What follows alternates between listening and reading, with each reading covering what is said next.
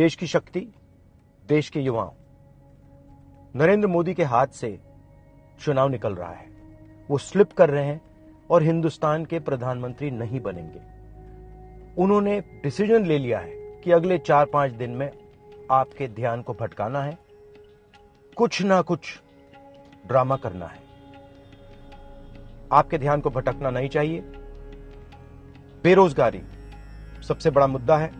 नरेंद्र मोदी जी ने आपको कहा था कि दो करोड़ युवाओं को रोज़गार देंगे, झूठ बोला, नोटबंदी की, गलत जीएसटी लागू की और सारा का सारा काम अदानी जैसे लोगों के लिए किया है।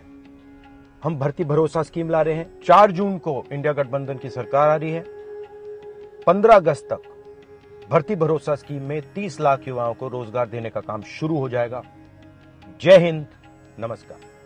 नमस्कार मोदी जी, थोड़ा सा घबरा गए क्या? नॉर्मली आप बंद कमरों में अदानी जी, अंबानी जी की बात करते हो। पहली बार आपने पब्लिक में अदानी अदानी, अंबानी बोला। और आपको यह भी मालूम कि ये टेंपो में पैसा देते हैं। क्या ये आपका पर्सनल एक्सपीरियंस है क्या? एक काम कीजिए सीबीआईडी को इनके पास भेजिए ना। पूरी जानकारी करिए इंक्वायरी कराइए। जल्दी से जल्दी कराइए, घबराइए मत मोदी जी। और मैं देश को फिर से दोहरा के कह रहा हूँ, जितना पैसा नरेंद्र मोदी जी ने इनको दिया है ना, उतना ही पैसा हम हिंदुस्तान के गरीब लोगों को देने जा रहे हैं। महालक्ष्मी योजना, पहली नौकरी पक्की योजना, इन योजनाओं के माध्यम से करोड़ों लाखपति बनाएँगे हम। इन्होंने 22 अरबपति बनाए हैं। हम करोड़ों लाखपति बनाएँगे।